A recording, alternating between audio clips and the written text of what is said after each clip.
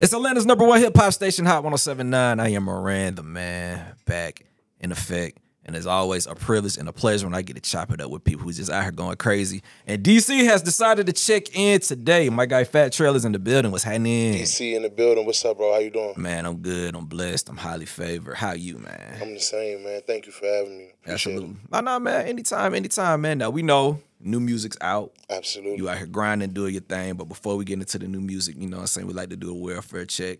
Um, I feel like with this new music, I think it's safe to say that you in like a new space. yeah, right? yeah, absolutely. Yeah, Yeah, men- yeah, yeah, yeah. So, mentally and um, maturity wise, yeah, I feel like I'm in a new space. You know what I'm saying? So Mm-hmm. I think it uh, reflects in the music for sure. yeah, absolutely, man. So respectfully, man, you've been at this for damn near a decade. Or Yeah. probably like a decade plus at this point. Yeah, a decade plus. Yeah. A decade is ten years, right? Yes, sir. Yeah, yeah, yeah, yeah, a decade plus for sure. Yeah, man. So you know, it's 2024. How does Fat Trel feel about his growth from 10 years ago up until now? Um, I love it. It could always be better. It's, it's, it's room for improvement. Mm-hmm. I feel like no matter how good you're doing or how much money you make or how much success you gain, I feel like there's always room to grow. Mm. So um, I feel like it could get better. It's a few things I need to work on. But um, but for the most part, I love where it's at. And, Yeah. um, I love where my work ethic is, and um, you know the mentality to work and go hard. Period, and still have a love for hip hop. Period. I love where it's at. Absolutely, man. That's good. You know, you speak on your love for hip hop, right? So, you know, you are definitely an artist, but you love the craft itself. Absolutely, yeah. Why is hip hop the craft like so valuable to you? Like, why do you love it so much? Um, why do I love it so much? That's a great question.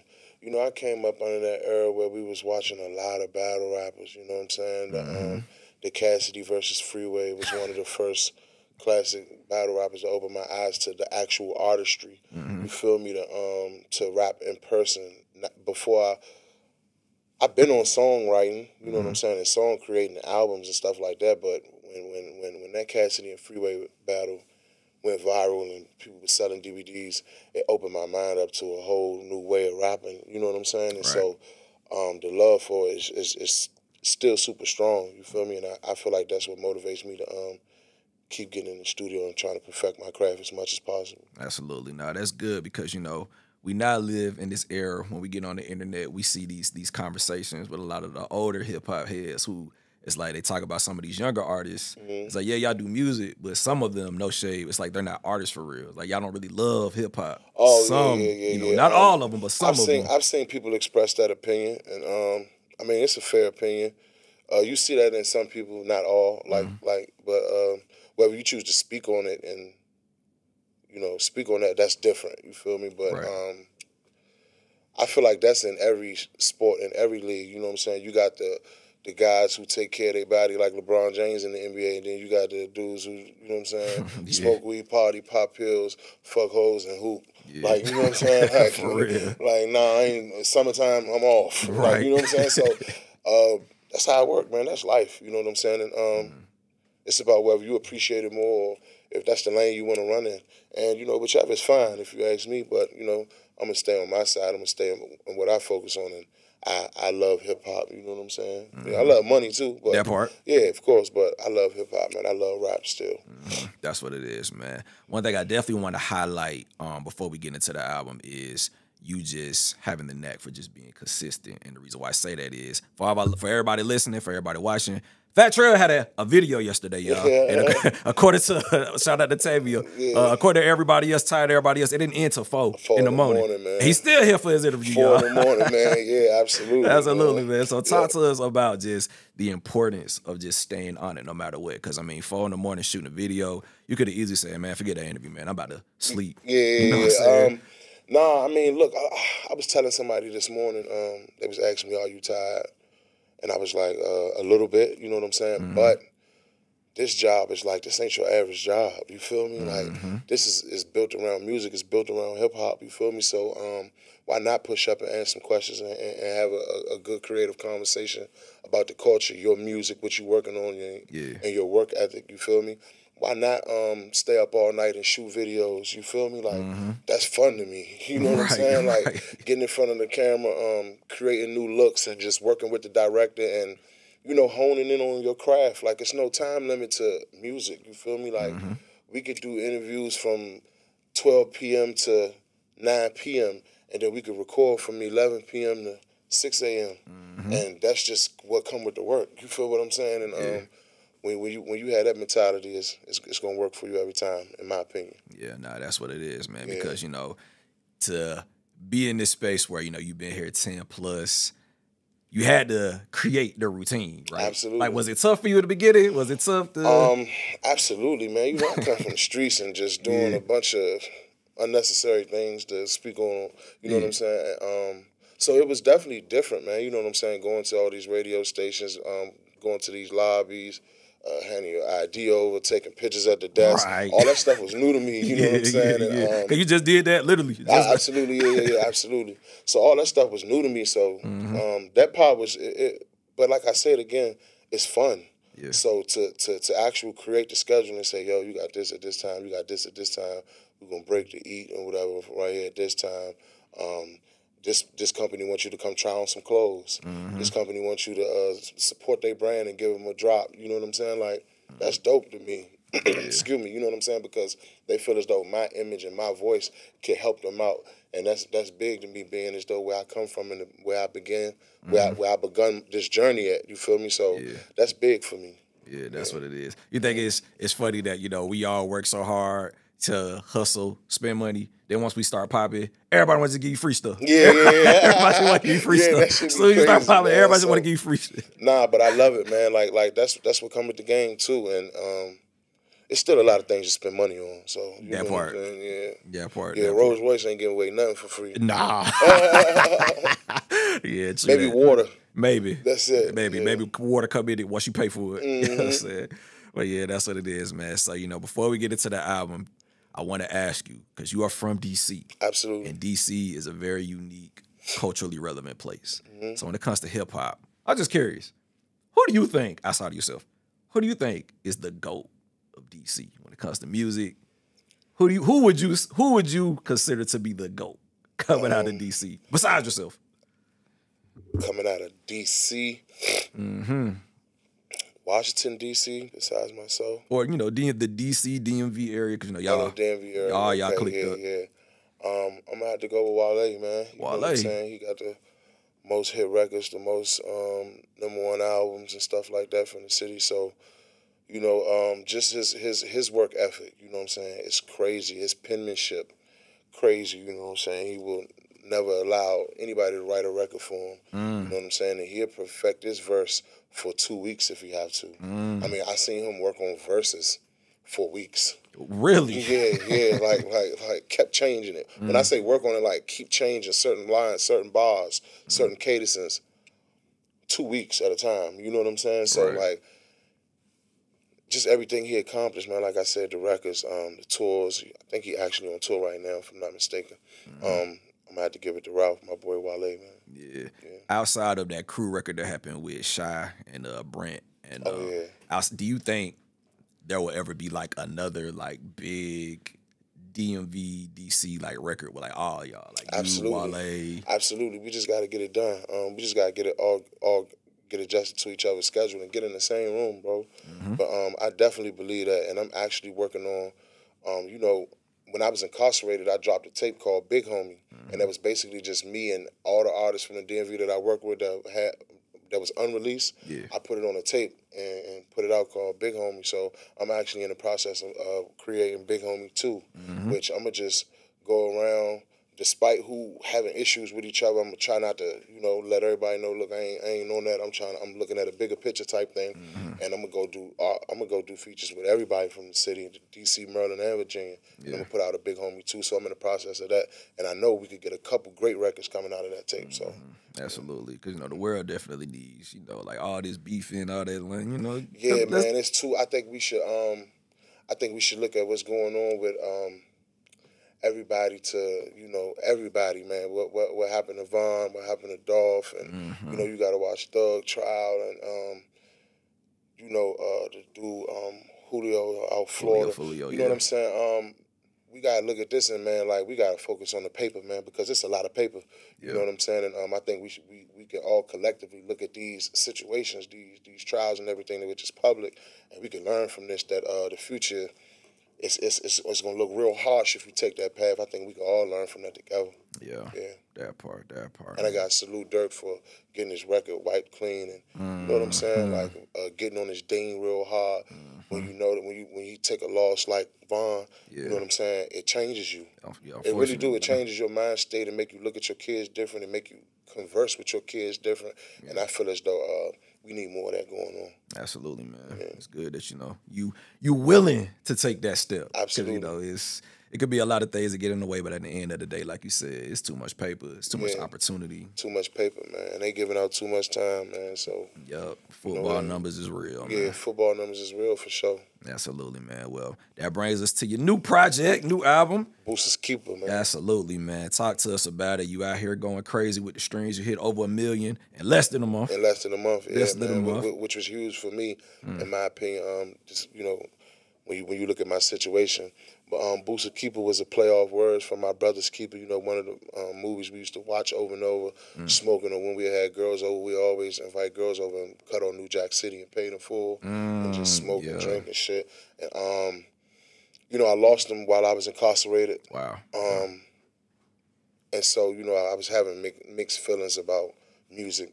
Yeah. While I was still incarcerated, I kind of sort of secretly promised myself that I wouldn't even rap no more Yeah. because I didn't feel as though it would be fun being as though my best friend is gone. Came home, got to work, went to the studio, and, and you know, felt more motivated. And I said, I got to keep my brother's name alive. And, um, actually, the first album I was supposed to drop after my release was supposed to be Booster's Keeper, but we wound up putting out Nightmare on East Street 2 Yeah. out um, for some other reasons. And so, you know, Booster's Keeper is just dedicated to him and um, my mind state, um, my goals, uh, my, my, my, my, my trauma, my past, you know what I'm saying, um, my current situation and everything. So Yeah. it's one of my favorite albums, right? for sure. Absolutely, man. Because like just listening to it, I could tell that um you really, you know, correct me if I'm wrong, but I could tell you really took your time with it. Like it, it don't feel like you just went in and was just saying stuff. Yeah, no, no, know, no, no and all. You know what I mean? Absolutely not, man. Um, just you know, I'm looking at myself and I'm looking back on my career and um, all the music I made and how I started out in the drill scene and all that, Mm-hmm. and I'm like, yo, what is a, a, a- real nigga like myself speak on? Yeah. You know what I'm saying right now Mm-hmm. with my current situation and everything I'm going through. Like I said, past, present, future, trauma, business decision Yep. um, you know, what's going on in the world. Um, Mm-hmm. You know, I was locked up when George Floyd situation happened all across America. I was locked up when COVID hit. So my my viewpoint and what I got to speak on is different. You know what I'm saying? So Right. that was real huge for me for sure. Absolutely, man. Because um, you know, you, you say that um, you know, you, you talk about what you was going through. But one thing that I really think is cool about the project really is some of the features that you have. Like you, know, you got. Skilla Baby on there, and Absolutely. a couple of, of the upper um up and coming artists. Yeah. So for somebody like yourself, you've been here ten years plus. What's it like for you working with artists who are on a come up? You know, Um, I love them? it, man, because you know what? I'm gonna be honest. I'm at I'm at a point in my life. I'm at an age where you meet the Skilla babies and the, and the Sada babies, and they're like. "Yo, man, I used to bump you and Chief Keef like faithfully." You know what I'm Mm. Saying? Like, Yeah. and I feel as though that's dope because there's nothing wrong with that. Like I said, um, we all young African American men from the trenches, man, trying to chase a bigger bag. You know what I'm saying? Trying to take care of our family at the end of the day. So when you could make music with your peers that's in your generation, and then you got the younger guys who coming up like, damn, oh man, I used to bump you all the time. Like, let's get to work. Man, Skilla got damn near EP in. Yeah, we You know need that. Yeah, y'all- like- where y'all gonna drop that? You know what I'm saying, man? We we it's, it's, we in talks. You know what I'm saying? So um, I think that's real big for me, man. And um, when they when they show me my that love and give me my flowers, I appreciate that too because he from the trenches in Detroit mm. or Rob 49 from the trenches in New Orleans. Mm-hmm. So when dudes like that, Trippie Redd from Ohio, you know what I'm mm-hmm. saying? When them dudes like that give me my flowers, it's like, damn, niggas in the trenches been rocking with me all across America. And that's big for me. You know what I'm saying? Because that was my, always my goal. I wanted to speak to the trenches all across America about Washington D.C. Yeah, absolutely. And who knows what your music did for them when they was going through whatever. You exactly. know what I'm saying? They was man. probably you know, they was I was making some wild music at the beginning, so and I still do. I believe so Hey. too. So who knows, man? But they here, man. Shout out to everybody. JIDK was on the album. Um, Yeah, that that was IDK. That was that was a surprise. Yeah, yeah, that was, yeah. you That's know, my dog, man. Yeah, you know what I'm out saying? IDK. ESTG on Mm-hmm. the album, man. You know what I'm saying? Shout out to him and the whole Shiner crew. So nah, that was real big for me. absolutely, man. And one thing I definitely do want to touch on is, you know, your business sense with your music, with your art, because Mm-hmm. you know most people may not know, but you are independent, but you're distributed through ONErpm. Absolutely. So that means that you get a bigger bag, a bigger cut of your work. Yeah, you know what I'm saying. absolutely. Most of the stuff that's coming in is coming to you first. Yeah. So- um, I'm still a, I'm still a student to Yeah. the business. Period. You know what I'm saying? Like I was saying earlier, uh, I feel as though there's always room to grow, and even mentally, uh, when it comes to wisdom and financial liter- literal, you know the word. I'm Literacy. saying. Yeah, yeah, yeah. It's all good. It's when, all when, it, good. when it come down to that, it's always room to grow. Absolutely. Um, it's still questions and contracts. I still gotta ask my manager. I still gotta ask the lawyer what this word mean. Mm. What that mean when they say that? So how long is it gonna take for them to give me this? You know what I'm Mm. saying? Like I still ask questions. You know what I'm saying? So, but as far as my business mind, I wasn't always like that in the beginning. You feel Mm-hmm. me? I always look at the contracts and make sure the amount that we agreed on Yeah. is right Stand on and looking for the date of when I'm gonna get my money. And I didn't read the rest, you know what I'm saying? And I I made a couple poor choices in the past by mm-hmm. doing that. So, you know, I think it's the the, the mental is better now. Yeah. Hey, we all live and we learn. Yeah, man. yeah. I mean, it was learning lessons though, you know what I'm saying? Like Yep. you gotta make in life you're gonna make bad decisions and when you what you learn from those bad decisions and how you not make them again, that's what it's about. Me? Mm-hmm. Yeah. Absolutely, man, for sure, man. So what's next for you, man? You know, shoot, hey, Um, 2024 about to be done. Yeah, you out me here and my crazy. riding around right now in the rain. This weather is crazy, Mm-hmm. but we listening to records now. Um, trying to uh, figure out a good release date and a, a good six, seven, eight more records to put on the deluxe. Oh yeah, deluxe Um, coming. Like I said, I'm in the process of working on um, Big Homie Two as well. Yep. I'm also I also just finished my first uh, film that's coming out on Tubi. It's called Beauty and the Struggle, Mm-hmm. and um, I got to go to Vegas to meet with some more producers and directors because I'm about to do my second film. Sure. So um, it's a lot in the works, man. You know what I'm saying? I'm about to start getting into the uh, the football in DC, the youth football. You know what I'm saying? A little Yeah. start a little sprinkling, a little coaching, a little sponsoring. You know what I'm saying? Stuff like that. So it's a lot of big things ahead for me. Absolutely, man. And we ain't done. You know, we just crossing over there in the different paths, man. You know what I'm saying? From music to film, sports. You know what I'm saying? Hopefully we can get into some NIL situations with college students and stuff like Oh, that. So yeah. yeah, absolutely. Yeah. Yeah, that's the new big Yeah, we man. about to hustle until we, We about to sign these college kids, Yeah, and, we you know. about to hustle until we like 75, 80 years old for sure. Absolutely. We hey, if there's money to be made, we Man, finna come get it. on, man. We gotta go. We gotta go get that money, man. I'm watching Coach Prime and, and, and Shedeur and Travis Hunter, and I'm just, uh, I'm, I'm extremely motivated. Yup. I'm extremely motivated. They motivated. giving us the game. Yeah. Hey, how you how you feel about how they try to attack the Shedeur Sanders I family? love it. You, you I love, love it. Throw it up every time. Throw the every time Every in their face every Man, time. after the game, try to shake my hand. Nah, nah. Keep talking that shit on Instagram. Absolutely. Get out my face, man. Oh, that yeah. is. And he told him you can't fuck with me. Okay, and he proved it. Yeah, yeah. Like all that keep talking about my father and all that. Like, like listen, man, we gotta stop trying to sneaky sneak this. What happened? Like you can't erase what Deion Sanders did in his past. You know what I'm Mm-hmm. saying? He caught the interceptions. He ran the, the the returns back. He scored the touchdowns. He made the money. He did it beautifully. Yep. He put the money in your face every time. That's black excellence. So you gotta accept that. Everything that they kids want to do, first of all, every kid wants to be like their father, and their father just so happened to be one of the flashiest athletes ever in that era. Mm-hmm. Right. So what they gonna do? The They got to thing. do it on a whole another bigger scale. Bigger scale. It's only right. So sit back and like for the opposing team, right?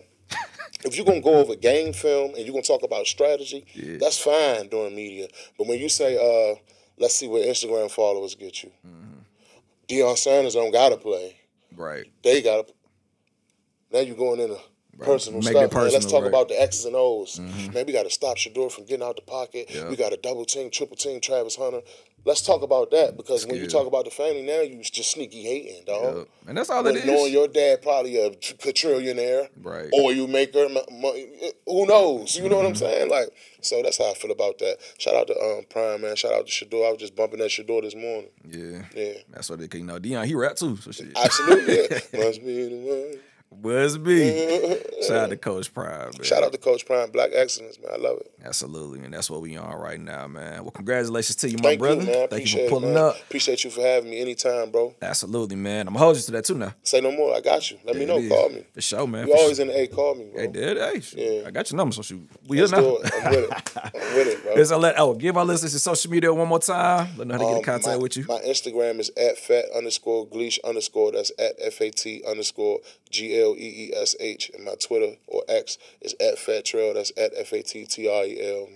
Booster's Keeper the album out everywhere, out Hey. now on all platforms, man. Tidal, Apple Music, Spotify, YouTube, whatever you choose to go play it, man. Run it up. Booster's Keeper, man. Long live my dog. Free the men.